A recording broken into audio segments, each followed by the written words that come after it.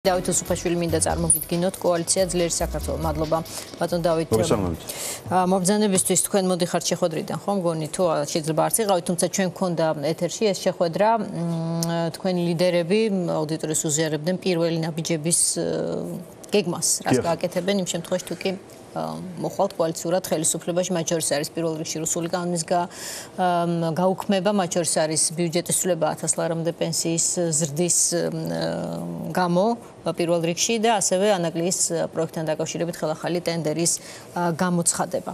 რა თქმა უნდა, იდეები და გეგმა კარგია, თუმცა პირველ რიგში მინდა ვიკითხო, რა გაძლევთ ამ ეტაპზე ამის ამ ოპტიმიზმის საფუძველს?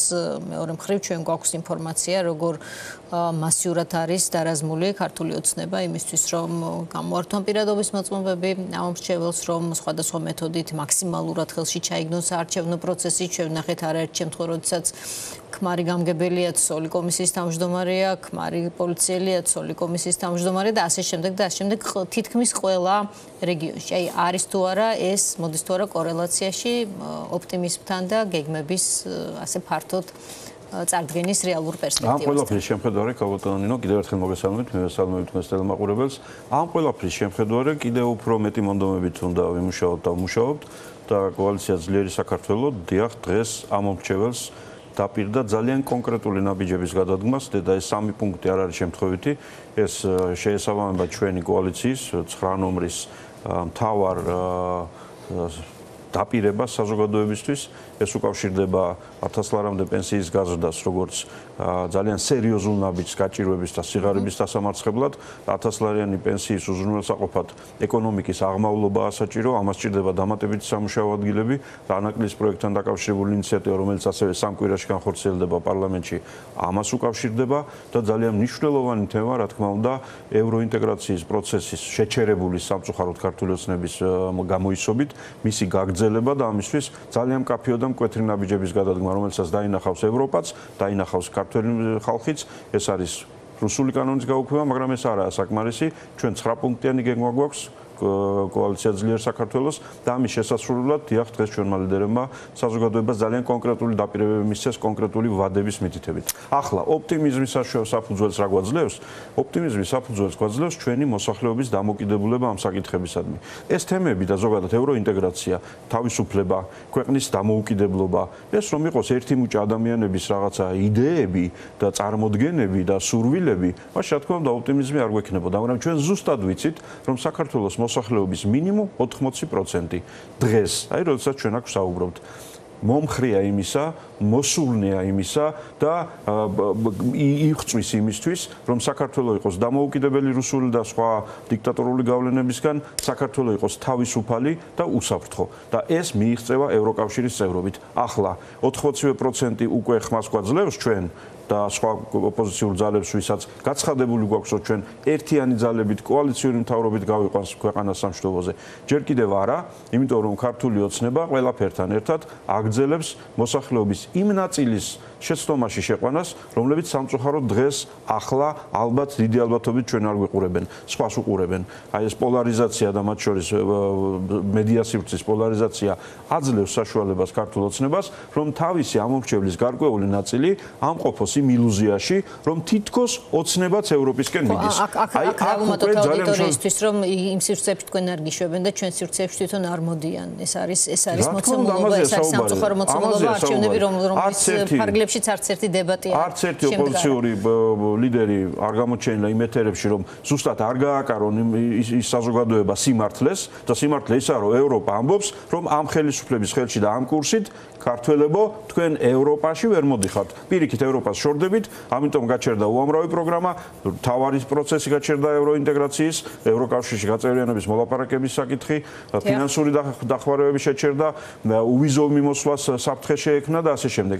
აი ამ ამ მოსახლეობისთვის ძალიან მნიშვნელოვანია რომ ჩვენ მეტი ვიღვაწოთ ეთერებიდანაც და ჩვენი ლიდერები დღეს საღამოობით ხვდებიან მოსახლეობა სხვადასხვა ქალაქებში, გუშინ ქუთაისში, დღეს თბილისში და მთელი დღე ყველა გასულია სხვადასხვა სოფლებში, ქალაქებში, უბნებში და კონკრეტულ ადამიანებთან მუშაობთ იმისთვის რომ ოცნებამ ვერ მოახერხოს მოსახლეობის შეცდომაში შეყვანა. კი ბატონო, ერთი არის შეცდომაში შეყვანა, მეორე არის ის საკითხები, რომელიც მე ჩამოგითვალეთ.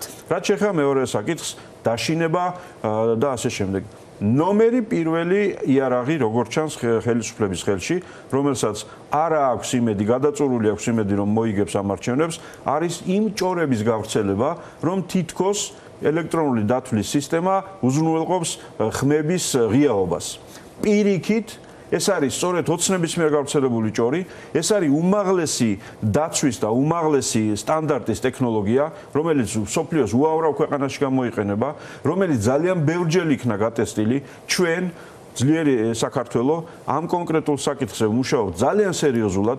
ჩვენ გვექნება ამ ელექტრონული დათვლის მონაცემების ალტერნატიული დათვლის სისტემა და არ მივცემთ საშუალებას მოსახლეობა შესწომაში შეიყვანოს ხელისუფლებამ და ეს სისტემა არის სუპერ დაცული. არანაირი ფარულობა არ იქნება დარღვეული. ეს ძალიან მნიშვნელოვანია იმ ადამიანებისთვის, რომლებსაც ხელისუფლების წარმომადგენლები კლავ ისე როგორც ავით 30 წელი ამ უბედურებაშია. ეს ქვეყანა ხელისუფლების წარმომადგენლები მოქალაქეებზე ძალადობენ. პირველ რიგში ფსიქოლოგიურად. ეუბნებიან ეხლა შენი პირადობის მოწვევა რომ წავიღე და იქ მე რაღაც ამოვიწერე და სადღაც შეიძლება ქსელოაცილი შევინახე ამით მე მივხვდები შენ ვის მიეცი ხმა.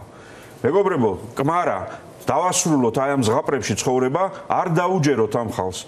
თუ ვერ ახერხებთ იმას რომ არ მისცეთ თქვენი პირადობის მოწვევა არავის ვისაც ეს არ ეკუთვნის მიეცით, მაგრამ იცოდეთ, რომ თქვენი ხმა თქვენ გეკუთვნით და ის ხმა დაცულია. შემდეგი ამბავი. ამ არჩევნებზე იქნება უპრეცედენტო ოპოზიციური солиდარობა ერთმანეთის ხმების დასაცავად. იმიტომ რომ ძლიერი საქართველო ნომერი 9 ჩვენ მოსახლეობას მიმართავთ სრული წმენით. ჩვენ ასე გვჯერა და მგონია რომ ეს ასია. ვართ საუკეთესო პოლიტიკური ძალა დღევანდელი საქართველოს სამშვიდობოს გასაყვანად. ამიტომ მოგვეცით ხმა. ცხადია ჩვენი დამკვირვებლები, კომისიის წევრები, წარმომადგენლები მობილიზებული არიან იმისთვის, რომ არა მარტო ელექტრონულ მანქანამ დაითვალოს სწორად ეს თვითონ იზავს ის პროგრამა, არამედ მე ქაღალდის ბიულეტინები რომ დაითვლება, არც ერთი ერთი ხმა, რომელიც მოცემულია 9 ნომრისთვის, არ გადაეცეს ვინმე სხვას манипуляციებით, ან ხელოვნურად არ გაბათილდეს, ან ბიულეტენი არ გაქრეს და ასე შემდეგ. მაგრამ ჩვენი დამკვირვებლები ასევე მობილიზებულნი არიან, რომ არც ერთი სხვა ხმა არ დაიკარგოს. არც ოპოზიციიდან და არც ვინც ხელისუფლებას მისცემს მას. რატომ? იმიტომ რომ ჩვენ კარგად გვესმის და ჩვენს კოლეგა კონკურენტ პოლიტიკურ ძალებს ასევე კარგად ესმით, რომ ჩვენი რაც არ უნდა კარგი შედეგი არაფერს ნიშნავს, თუ ჩვენ ყველა ჯამურად ერთად არ დავამარცხეთ ქართული ოცნება. აქედან გამომდინარე იმ ყოველ ხმაზე, რომელსაც ოპოზიციური ამორჩეველი მიცემს თავისთვის სასურველ პოლიტიკურ ძალას. ამ ყოველი ხმის დასაცავად საარჩევნო უბნებზე და კომისიებზე იშრომებენ და იბრძოლებენ არა მხოლოდ ამ პარტიის წარმომადგენლები, არამედ ყველა ერთად. ეს ყველა ერთად თითოეულზე არის 14, 15, 17 წარმომადგენელი. არ ვლაპარაკობ აქ არასამთავრობოებს და საერთაშორისოებს. ამიტომ ხმების დაცვის და მისი არჩევნების ვერ გაყალბების არჩევნების დღეს და უშუალოდ დათვლის პროცესში სტანდარტები არის უმაღლესი. ახლა მთავარი რა არის? მთავარი ისაა რომ აი დღეიდან და არჩევნებამდე ამ დღეებში ჩვენ მორალურად არ გაგვტეხონ. არ ჩაგვინერგონ ის აზრი და განცდა რომ თქვენ ხმას გავიგებთ ვის მიეცხმა და მე დაგში. ვერავინ ვერაფერს ვერ გაიგებს.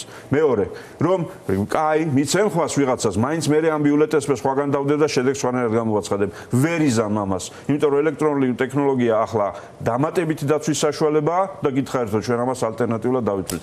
შესაბამისად, ჩვენ რო ახლა ხელისუფლებას შეუძახოთ რომ რას შვებით, როგორ ართმევთ ჩვენს მოქალაქეებს პირადობის მოწმობებს. ნუ ეს იქნება ხმაღადებლისა. პირადობის მოწმობებს კი არა, სამშობლოს, ქვეყანას და მომავალს ართმევს ეს ხელისუფლება საქართველოს მოსახლეობას. ამიტომ მათთან შეძახილი არაფრის მომტანი მომცემი არა. აი მოქალაქეებს კი უნდა შეუძახოთ და უთხრათ, გამაგრდით. ჯერთ არავის არაფერი არ დაანებოთ, არავის არ აქვს არანაირი უფლება თქვენი მოწმობების ადმე წაიღოს. მაგრამ თუ რაიმეს გამო ამას მაინც აკეთებთ, გააკეთეთ შვიდად. იმიტომ რომ არჩევნების დღეს თქვენი ხმა თქვენს ხელშია და თქვენ უნდა გააკეთოთ არჩევანი მომავლის სასარგებლოდ. ბატონო დავით, ახლა ჩვენ როცა საუბრობთ გამოქვეყნდა სერგეი ლავროვის რაღაც ირიბი მხარდამჭერის შემცველი საქართველოს ხელისუფლების მიმართ განცხადება, რუსეთს აქვს კონტაქტები საქართველოსთან და ასევე საჭიროების სამეფ შესაძლებლობა რომ აქტუალური საკითხები განიხილონ. აი გარშემო უვლის რუსეთის ხელისუფლება საქართველოს მიმდინარე პოლიტიკურ პროცესებს ძალიან ღია არის მათი სურვილები, ვინ უნდა დარჩეს ხელისუფლებაში და ვისკენ არიან ეს ძალიან ცხადია. აი აი ამ კონტექსტში რა შეიძლება ითქვას თუ კი არის დარჩენილი ვინმე და სავარაუდოდ არის დასავლური განწყობების ამორჩეველი ქართული ოცნების წიაღში. დიახ, ჩვენ სწორედ ამ ადამიანებზე უნდა გქონდეს რაც შეიძლება მეტი ყურადღება. ადამიანები, რომლებიც ჯერ კიდევ ყოყმანობენ და ფიქრობენ, რომ ქართული ოცნება ხომ არ არის ის ძალა, რომელიც ჩემთვის მისაღები გზით მიდის ევროპაში, იმიტომ რომ ვიღაცეები სხვა გზით მიდიან, ისინი არ მომწონან რაღაცა ძველი ხელისუფლება, ახალი ხალხი და ასე შემდეგ. ხო, ივან შევცვალოს ამბობს, რომ ჩვენ ხა რა არის ახალი გზავნილი, ხომ? დასრულდება უკრაინის ომი და ჩვენ ყველაფერს დავალაგებთ. უკვე გადავტვირთავთ ყველაფერს და ეს უკრაინის ომია, როცა ჩვენ ასე ვთქვათ, ჟარგონულად რომ ვთქვათ, გვაწვევიან, რომ მეორე ფრონტი გავხსნათ ვიღაც გლობალური ომის პარტია თუ რაღაცა და ამის შემდეგ ჩვენ უკვე ყველაფერი იქნება ძალიან კარგად დაალაგებული. ეს არის ძალიან მნიშვნელოვანი ამბავი, რომ ჩვენი მოსახლეობის ამ ნაწილს ჩვენ ვესაუბროთ რაც შეიძლება კეთილგანწყობით. ეს ადამიანები არ არიან ამ ქვეყნის მტრები, ისინი არიან შეცდომაში შეყვანილი და ავიცი მე 25 წელია ალბათ ვარ ჩართული ამ საზოგადოებრივ პოლიტიკურ პროცესებში და პრაქტიკულად ყველა ეპოქაში ხედავდი ხოლმე ადამიანებს, რომლებსაც ან ინფორმაციის ნაკლებობის გამო, ან რაღაცა ემოციური შოკების და ტრაუმების გამო, ან სხვა ამბების გამო, რაღაც პერიოდში ის განმავლობაში ქონდათ საკმაოდ სტარი წარმოდგენა იმის თაობაზე, საით მიდიოდა ეს ქვეყანა. ან საით მიყავდა. მარტივად ადამიანებს რა სხვაობა დღევანდელ არჩევნებს და ყველა სხვა არჩევნებს შორის, რომელიც ჩვენს ქვეყანაში ჩატარებულ, რატომ მეწოდება ამას ექსტენციალური ესე იგი არჩევნები ასე. მე სანამ შემოვიდოდი სტუდიაში დერეფანში უსმენდი ქალბატონ ლანა ღოღობერიძეს თქვენთან ინტერვიუში.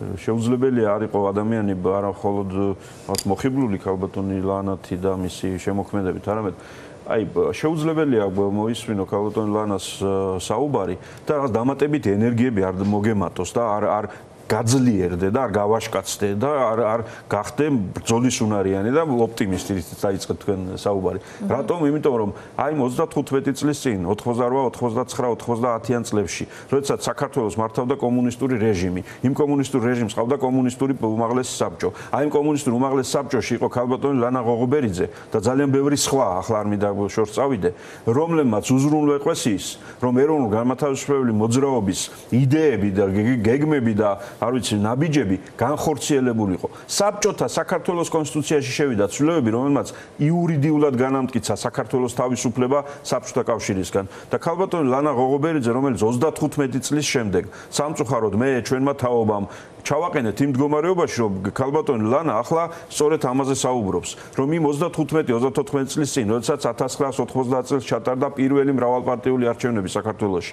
დიახ, მაშინ იდგა ასეთი ძალიან კაფიო არჩევანი, დიახ, მაშინ იყო ხელისუფლება ასე იზოლირებული და დარჩენილი მხოლოდ და მხოლოდ მარტო მაშინდელი კომუნისტური ხელისუფლება ეროვნულ განმათავისუფლებელი მოძრაობის წარმომადგენელი 23 27 პარტია გავატარეთ რეგისტრაციაში მაშინ CSGO-ში. ამდენად დაქსაქსული იყო ერთი ერთი მხრივ. მაგრამ ასე ერთ მუშტად შეკრული საბჭოთა კავშირისგან თავის დაღწევისთვის, თავისუფლებისთვის, დამოუკიდებლობის აღდგენისთვის არ ყოფილა ოპოზიცია დარაზმული. შემდგომ არჩევნებში ყოველთვის იყო რომ სხვადასხვა თემები, საკითხები, რომლის გამოც შეიძლება დაგვენახა 4, 5, 7 ბანაკი და ასე შემდეგ. დღეს რატომ არის ასე მნიშვნელოვანი? იმიტომ რომ 1990 წლის არჩევნების შემდეგ 91-ში რომ რეფერენდუმი ჩავატარეთ, ის რეფერენდუმი აფხაზეთშიც ჩავატარეთ, ცხინვალშიც ჩავატარეთ, თელ საქართველოში ჩატარდა და რომ ჩავთვალეთ რომ ეს ქვეყანა დაადგა ამ გზას თავისუფლების დამოუკიდებლობის, რასაც დღევანდელ სამყაროში ევროკავშირთან სიახლოვე ქვია, ნატოსთან სიახლოვე ქვია, რა იქნება 2227 წელს და საქართველოს ამ ინსპირაციით და ამ პრინციპებით რომელ ორგანიზაციაში იქნება, ეს ჩვენ არ ვიცით, მაგრამ დღეს ზუსტად ვიცით, რომ ის რისი რის თაობაზეც გადაწყვეტილება მივიღეთ რეფერენდუმზე, რაც იყო ჩვენი წინაპრების საუკუნოვანი ოცნება. ეს არის დღეს ევროკავშირის ღია კარი და ვიღაცეები ჩადგნენ ამ კარში და ქვეყანას და ხალხს შიგნით არუშვებენ. თუ ხალხი ინდივიდუალურად დავტოვებთ ამ ქვეყანას და გადავსახდებით სადმე, კი, მაშინ იქნებიან ბედნიერები. ამიტომ არის ეს ეგზისტენციალური, ანუ ყოფნა არ ყოფნის მნიშვნელობის არჩევნები. ხელისუფლების წარმომადგენლები, რომლებიც უკრაინის ომზე ქილიკობენ და ასე ვთქვათ, ელიან იმას, რომ აბა ერთი როდის იქნება, ანუ რასელიან რუსეთი როდის გამოიმარჯვებს იქო? ან დასავლეთი როდის შეწყვეტს უკრაინის დახმარებასო? ან ან ხო რა?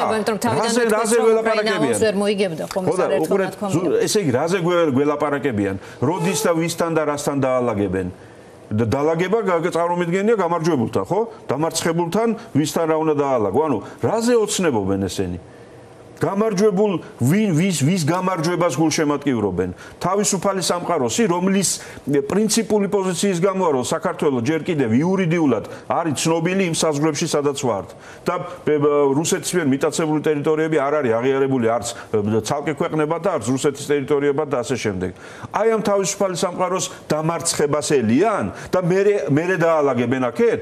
თუ ეს ნიშნავს იმას რომ ელიან იმ ვითარებას და უნდათ რომ დასავლეთმა დაუშვას იგივე შეცდომები, რაც საქართველოსთან დაკავშირებით იქნა დაშვებული 10 წლების განმავლობაში გაყინული კონფლიქტები და 1000 სამშვიდობო ძალები და რუსეთის მიერ ჩადენილი ეს უბედურება, როცა გამოერკვა თელი სამყარო და ახლა რატო გვეპატიჟებიან საქართველოს? ასეთ საქართველოს რომელიც სტანდარტებით ევროკავშირთან არც ტექნიკური, არც დემოკრატიის, არც არ ვიცი, გზებით, არც განვითარების დონით, არც თანაბრობით მოსახლეობის და არც თანასწორობით, არც ერთი სტანდარტით ჯერ ჩვენ არ ვართ ევროკავშირის დონის, მაგრამ ევროკავშირმა დაინახა რომ დიახ ჩვენ გვაქვს ეს ინსპირაცია, ეს შემართება, ეს სურვილი, ეს მონდომება ერთი და მეორე დიახ საქართველოს პრინციპულია რომ თავისუფალი დარჩეს და არ გახდეს რუსეთის იმპერიის შემადგენლობაში. ამიტომ დაველოდოთ უკრაინის ომსო, როდის იქნება იქ ისეთი ვითარება, როდესაც დასავლეთ ხელს ჩაიქნებს ჩვენზე, ანუ აღარ იქნება არ შემოთავაზება, რომ მოდი ერთად განვითარდეთ, ერთად გავმდიდრდეთ და ერთად ვიყოთ უსაფრთხო, ევროკავშირი ის სივრცეა, სადაც ომი არ არის. სტაბილურობა და ეს არის სტაბილური სტაბილურობა. დიდ სტაბილურობა ემყარება სისტემას, მოსახლეობას, საზოგადოებას. აქ გვეუბნებიან, რომ ერთი კაცია თუ მშვიდობის გარანტი და იმას გრიპი რო დაემართოს საქართველოს გაუგებდება. დავით, აი ბოლო კითხვა იქნება, ჩემ მინდა რომ ხა ცოტა ხანში მოვისმენთ ამ განცხადებას, მაგრამ წინასწარ გთხოვოთ შეფასება საბჭოთა კავშირს ადარებს დედაქალაქის მერი ევროკავშირს. აქ შეფასებაც კი რთულია რომ ითხოვო საგონიურ მდგომარეობაზე, ცოდნაზე, განწყობებზე მეტყველებს, თუმცა რა შეიძლება მაინც ითქვას. იცით კალაძემ თქვა ეს? ხო. მაშინ მისთვის გასაგებ ენაზე ვიტყვი, რას ნიშნავს მისი ნათქვამი ახლა. მე ფეხბურთელი არ ყოფილვარ, მაგრამ ფეხბურთის დიდი გულშემატკივარი ვარ. და ყველა ვიცით რომ არსებობს მილანი. მილანის მილანი, სადაც თავად თამაშობდა და შესანიშნავად თამაშობდა. მაგრამ კიდე არსებობდა ერთი წნორის მილანი. ჩემს მშობლიურ კახეთის გუნდზე ვიტყვი, რომ სხვა არავინ გამიბრაზდეს. ხო, ორივეს მილანი ერქვა. და ახლა კალაძე რას გვეუბნება, იცი? რომ წნორის მილანი ფეხბურთს თამაშობდა და მილანის მილანი იყო ვიღაცა ჩამორჩენილი და ფეხბურთი არ იცოდნენ იმათ. აი როგორც შეუძლებელია წნორის მილანი და მილანის მილანი შეადარო ერთმანეთს, პაცემლო კახა. ასეთივე არ ვიტყვი იმ სიტყვას, რაც ენაზე მომადგა, ამბავია შეადარო ერთმანეთს ევროკავშირი და საბჭოთა კავშირი, იმიტომ რომ ბოლოს სიტყვა კავშირებია და ვინც ამ განსხვავებას ვერ ხედავს, იცით, ჩვენ მოდი ამაზე ძალიან ნერვებს ნუ მოვიშლით. ამ ქვეყანაში 4-5 მილიონ მოსახლეობაში, სამწუხაროდ შიგნით ცოტანი ვარ დარჩენილი, მაგრამ ჯამში ხო ვართ ამდენი. ყოველთვის იქნება შეიძლება 5, შეიძლება 5000, შეიძლება 50000-იც. კახა კალაძე, რომელიც საბჭოთა კავშირს და ევრო კავშირს ერთმანეთსგან ვერ ან არ განასხვავებს. უფრო მეტი იქნება ვინც არ განასხვავებს, იმიტომ რომ ზევიდან ასე უბძანეს. იმიტომ რომ მისი კეთილდღეობა, სკამი, რაღაცა ავტორიტეტი, პიჯაკი, რაღაცა გავლა გამოვლა, დამოკიდებულია ვიღაცაზე. იმ ვიღაცამ ასე ცისულელე უთხრა და ხლეს იმეორებს. ამაზე ნერვებს ნუ მოვიშლით. ამ ხალხს უზრუნველყო თავიანთი უფლებები, სისულელის ლაპარაკის თავისუფლებაც, მაგრამ ქვეყნის მართვის სადავეებთან არ შეიძლება მათი მიშვება. დაგერგვა 26 ოქტომბერი, როდესაც ეს უნდა გავაკეთოთ.